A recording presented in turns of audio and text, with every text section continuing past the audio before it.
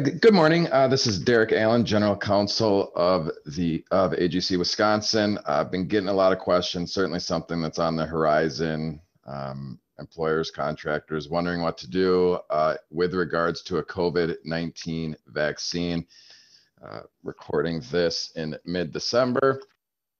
Vaccine is just starting to get rolled out um, for certain populations. Expected to be widely available by um, late spring and employees are wondering what are their rights, obligations, um, those sort of things. So uh, hopefully can cover that today, give you the information you need to make a decision on what your company's policy will be. I can see the title page here. I'm not going to sing it, but if you're familiar with Dolly Parton, um, it's probably probably humming along in your head right now. Um, here is my contact information. Uh, certainly happy to walk you through any of this at any time. So if you have specific questions, if you're developing a plan, um, want more information, anything like that, don't hesitate to reach out. I'm happy to discuss this with with anyone as you approach what's what's probably going to be a sticky issue for um, employers across the country and, and contractors across the country. Um, roadmap for today is first just kind of cover the facts and what public opinion is regarding the COVID vaccine at this point what employers' legal rights and responsibilities are, and then get into the practicalities of putting together a plan um, for your company. Start off with uh, recently, several vaccines have shown to be over 90% effective in clinical trials. Uh, as I mentioned, those are starting to get rolled out for uh, the populations you might expect um, frontline workers, uh, vulnerable populations, uh, those sort of people are, are going to be prioritized. Uh, according to government numbers, as of this morning, they expect that 20 million people in the United States will be vaccinated by the end of the year, uh, somewhere between 20 and 40 million per month after that, which means we will have widespread availability if that plan works uh, by late spring. And the idea is that by the end of June, everyone that wants a vaccine for COVID 19, it will be available to them.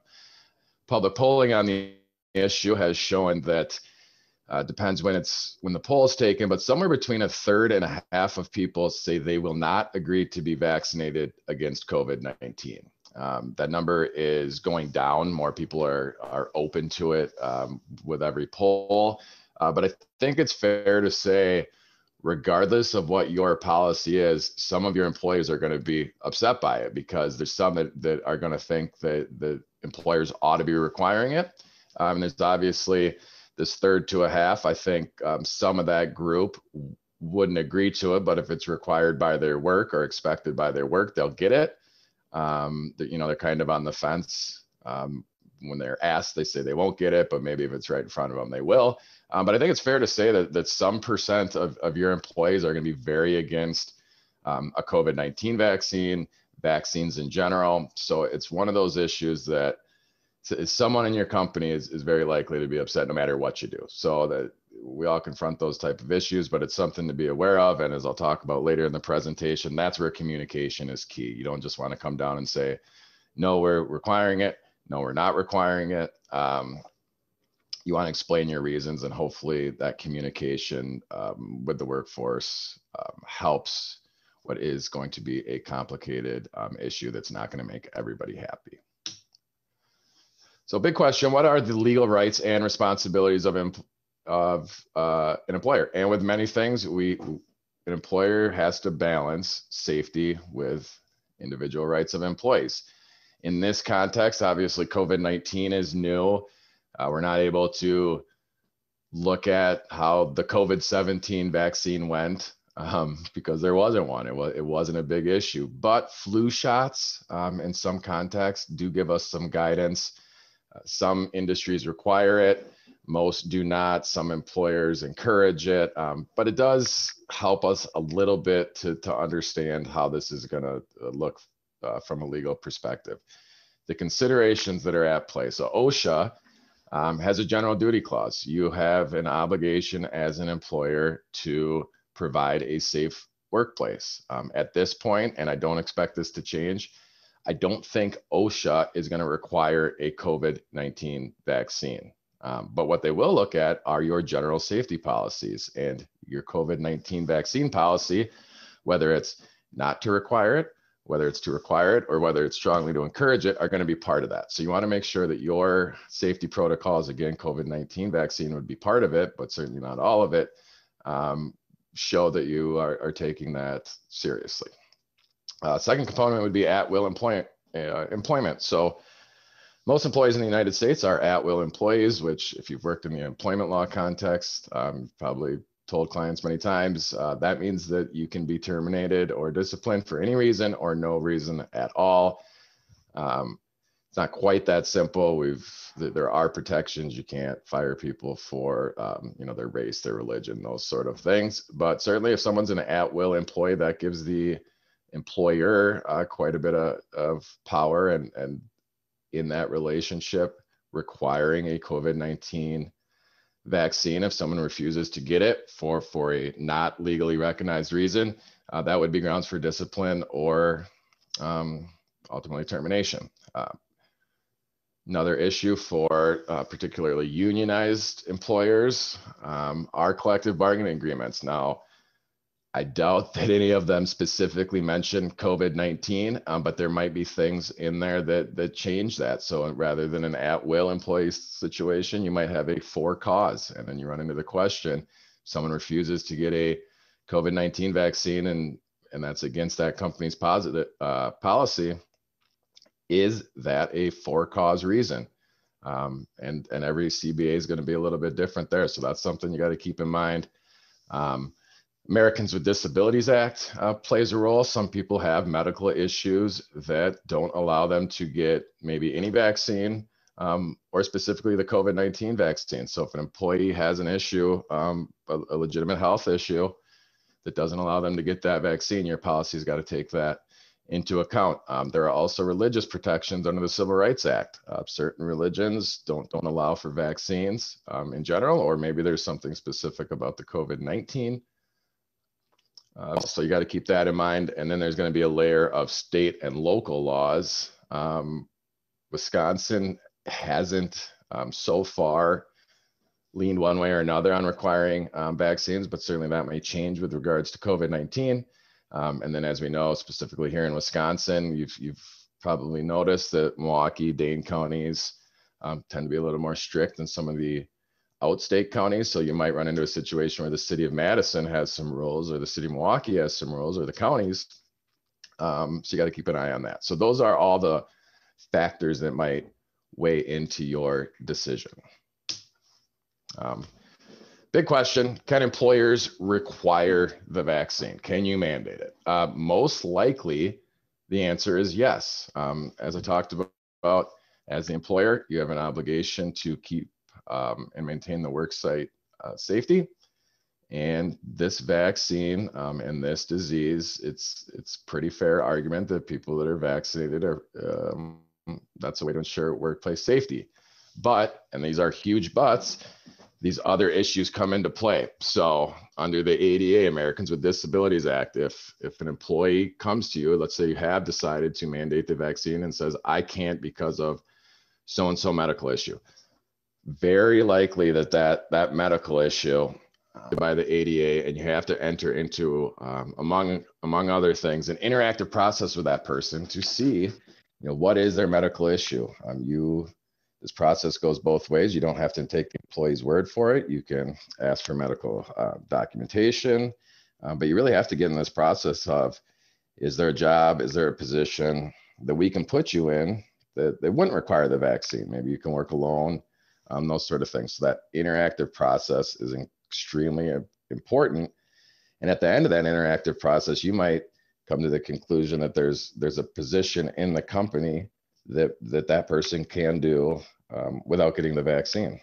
Um, also mentioned before, religious issues. Um, if someone has a sincerely held religious belief um, that doesn't allow them to get vaccines, uh, there's a decent chance that that has to be respected. Now, the question is, what is a sincerely held belief? Um, and that's a tricky one. That's a tricky one to go to certain employees and say, I believe that you really believe your religion, but I think this person is, you know, just making it up for for whatever reason. Okay, that's a tough call to make. Um, something I personally be involved in. If you were to Google my name and Pastafarian, um, you would see that I played a role in making sure that someone can wear a colander on their head in their license picture in Wisconsin. Um, and the reason for that is, for those who aren't familiar, Pastafarianism is has some, um, I'd say, unorthodox beliefs, but it's hard to put yourself in the position of saying whether someone um, specifically uh, really believes their religion or not. So that can be a tricky one. Um, as I mentioned, CBA issues play a role. The key thing there, and it's something I've done, is reach out to the union. Say, okay, let's let's let's assume an employer does require vaccines. Do you believe that that's uh, any CBA issues there? Do you support it? Do you not support it? Do you think it's a violation of the CBA? Um, and, and, like most most people in this context, it's kind of wait and see. Um, but the communication is key.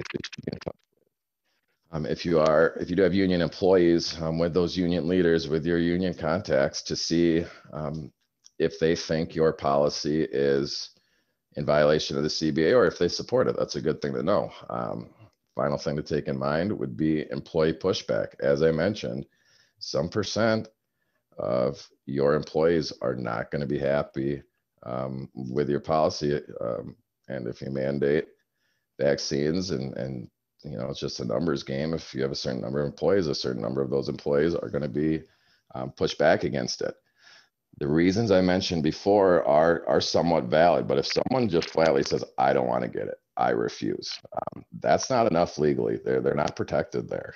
Um, if it's a religious reason, if it's an ADA reason, those are legally valid. But simply saying, "I don't like vaccines. I did my research and I'm not doing it," um, that's that's probably not. I mean, now you got the issue of well, what are you going to do about it? But um, from a legal perspective, um, that's not enough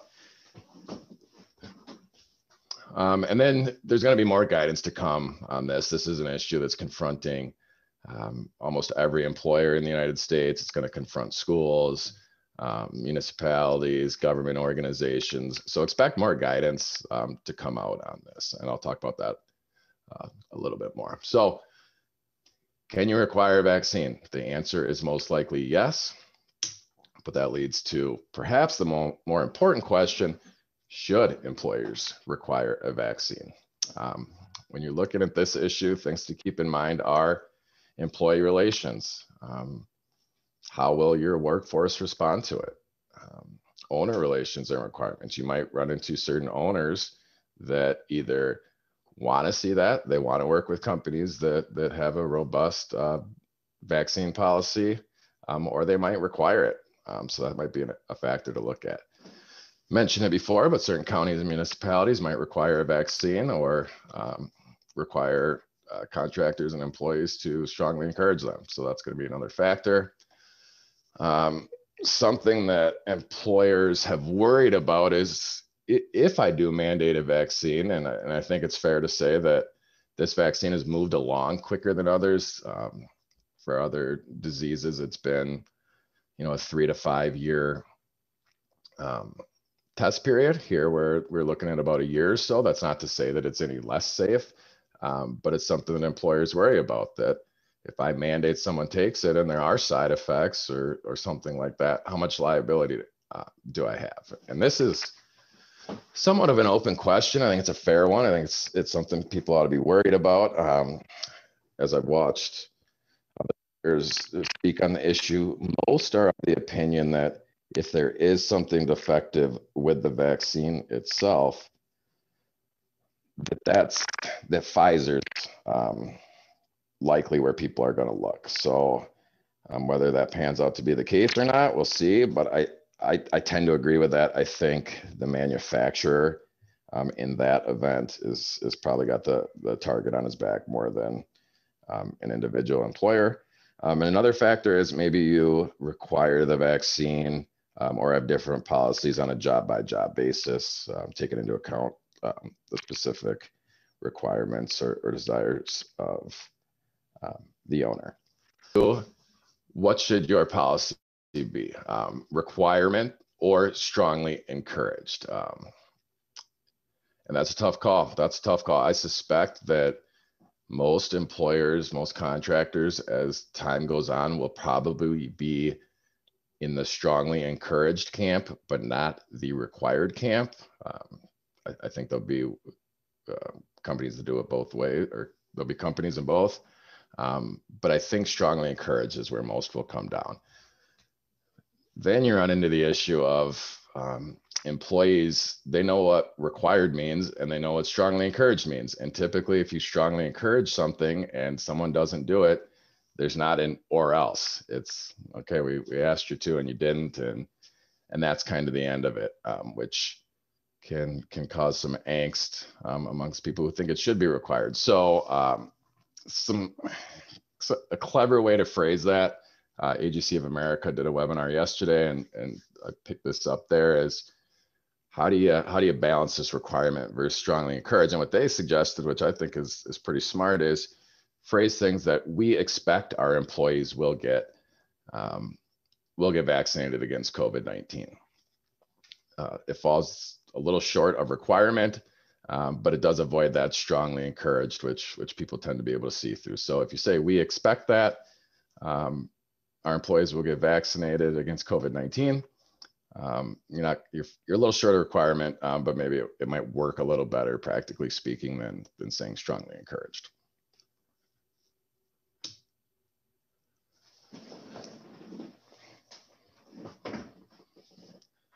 Um, regardless of your ultimate decision as a company, and again, I think your your sort of your three broad categories are: we're not going to require or encourage anybody to do anything on this front. Um, we're going to strongly encourage employees to get vaccinated or we're going to require employees to get um, vaccinated. Whatever you do, um, I think you should have a written policy on it. I think that's going to protect you. It's going to help with communication with your employees. Um, so I think you ought to have one regardless of what your decision is.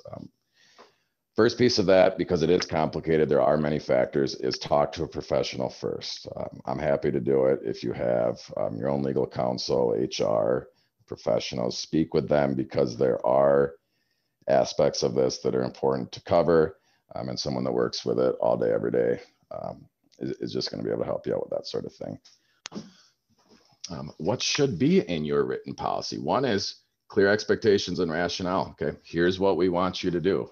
Here's what we would like you to do, and here's why. I think that's very important, um, just not only from a legal perspective, but because your your employees um, should know that. I think it's going to help um, smooth over what I talked about. Um, some employees are not going to be happy with your policy no matter what you do, but I think they're going to be able to um, accept it, more likely to accept it if they know your rationale. So rather than just say we require all employees to get vaccinated, you say that, but then you also say, and here's why: because we work with these owners, um, workplace safety, um, you know, all these sort of reasons. You also want to put in your policy that if someone disagrees, what should they do? Um, so if they do have a medical reason they can't, how do they address that with you?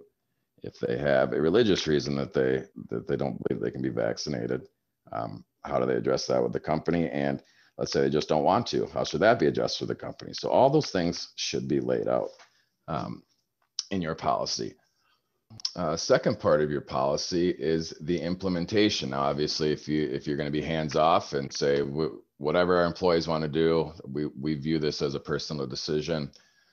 Um, then you probably don't need to, to deal with implementation. But if you're going to be in the strongly encourage or mandate camp, uh, you should think about how you're going to implement that. So maybe you give employees paid time off. You you get in contact with with a local provider that can provide the vaccine, and you say, all right, everyone's getting an hour of paid time off, two hours, whatever the time might be, to go get the vaccine. Um, maybe you handle it on site. I, I suspect there's going to be a pretty big push from the government to to get people vaccinated, so it might be possible.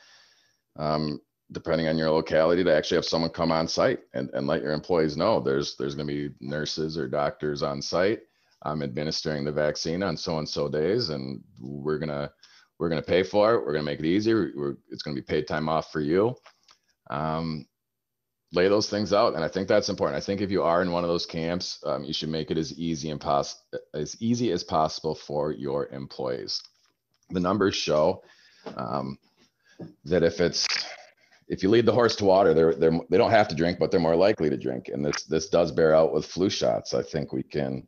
Um, the numbers show that there are employers that that mandate or strongly encourage flu shots, and then there's those that make it extremely easy as part whether by having people come in or providing time off the number of people that actually get it done goes through the roof um, when the employer makes it as easy as possible and essentially all the person has to do is is show up um, to work and it'll be available there on a certain day or um, it's scheduled for them and their work pays for it and all those sort of things. So if it is something that you're going to mandate, um, I'd recommend making it as easy as possible for your employees to get it, whether that's um, you know, coordinating for them to go offsite or potentially having it on site yourself. And and those are things that the practicalities I think will become more clear as as the vaccine starts to get rolled out.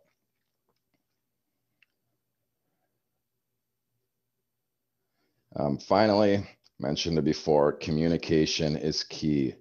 You don't just want to have a one sentence thing um, that goes out to employees that says we're mandating this or we're not. Um, explain your reasons. Uh, the more detailed, the better, and that will insulate you both from a legal perspective and help your employees understand what you're doing and why you're doing it, and that that population that's going to be upset with your decision um, hopefully it's it's a little easier to swallow um, if there's communication about about these sorts of things.